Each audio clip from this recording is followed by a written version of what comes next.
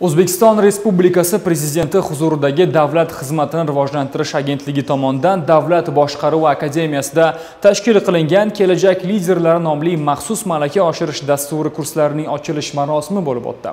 Unda davlat organlari va tashkilotlarida faoliyat yuritayotgan o'rta bo'g'in boshqaruv rahbarlari orasida yangi avlod rahbar kadrlarini shakllantirish maqsad qilingan.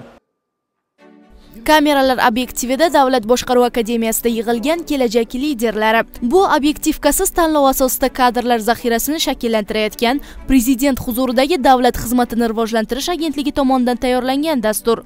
Mana bu yoshlar esa so'zsiz harakatlar bilan yurtimiz siyosiy voqeliklarni raqamlarda ko'rsatayotgan yangi avlod rahbar kadrlarining 50 nafardan iborat ilk guruhi. Ular yurtimizdagi barcha bo'g'in haqida interaktiv metodlar bilan ma'lumotlar bazasini 2 oy davomida nafaqat akademiya professor o'qituvchilari balki vazirlik va idoralarning rahbarlari tomonidan o'quv treninglarda o'zlashtirishga kirishdi. Asosiysi mana yosh liderlarda hammasidan bir birimiz bilan tajriba almashish bo'ladi. Eng yaxshi yutuq shu bo'ladi deb o'ylayman. Liderlik strategik va natijalarga yo'naltirilgan boshqaruv va jamoani shakllantirish va shunga o'xshash bir qator fanlarni o'qitilishi bizni juda quvontirdi. Ular orasida prezidentning farg'onadagi tashrifida o'zini taklifini bildirgan boburbek mo'minov ham bor. U shu kunning o'zida farg'ona shahar hokimi o'rinbosari lavozimiga tayinlangan. Uch yillik yetakchilik va birgina uchrashuv boburbekka yangi mas'uliyatni yukladi.